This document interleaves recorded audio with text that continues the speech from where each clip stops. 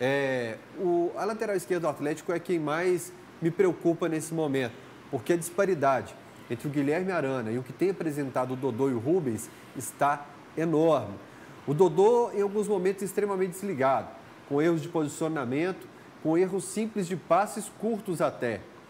Por mais que tenha melhorado, eu gostei muito da atuação dele contra o Milionários. O início de ano dele ficou muito abaixo do que a gente imaginava, tendo uma sequência de jogo.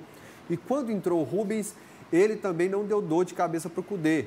Na, na to, última tomada de decisão ali, para um cruzamento, quando tem que tocar, quando tem que finalizar, busca, quando busca profundidade no campo. Não foi legal também a participação do Rubens. Por isso, creio eu que não só o Fael, mas o Cudê também, todo dia deve passar no departamento médico e falar assim, e aí, Arana, quantos dias?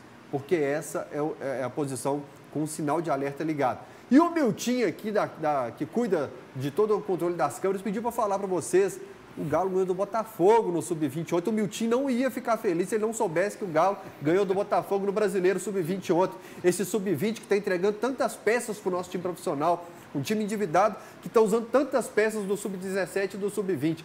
Enquanto eu estiver aqui, vocês podem ter certeza que eu vou cobrar demais da base do Galo. Porque clube endividado, que não revela jogador, não forma jogador, depois não tem mais shopping para vender, não. Aí também não está revelando, qual que é a solução? É, tem, tem clubes aí, né, Fael, que, que tem jogadores fazendo contrato. Recentemente foi o São Paulo, um jogador de 16 anos, com multa de 300 e tantos milhões. Ou seja, é por aí sim que você é. tem uma saída. Eu estava conversando né? com o empresário, ele foi falando assim, quanto que tem de previsão de vendas em Cotia, em São, no São Paulo, no Fluminense, no Palmeiras.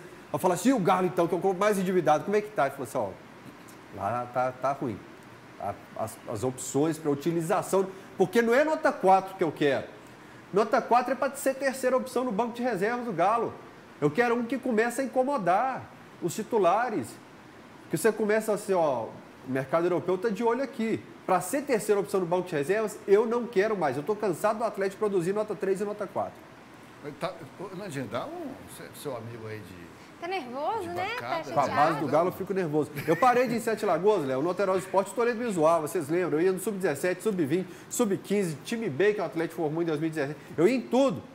Aí depois que eu vi como funcionava, eu falei, ah, desisto, não vou assistir mais não. É, e lá o Mancini não gosta de usar os meninos da base também? O Mancini não gosta Espero, não? o Nandinha sabe disso, não gosta de usar os meninos da base. Mas não gosta, mas faz, agora, produz e vende, cara. Agora, não, o América é fato. Agora é necessário que o Pepa também saiba que as categorias de base do Cruzeiro são interessantíssimas para um clube que está precisando se recuperar também.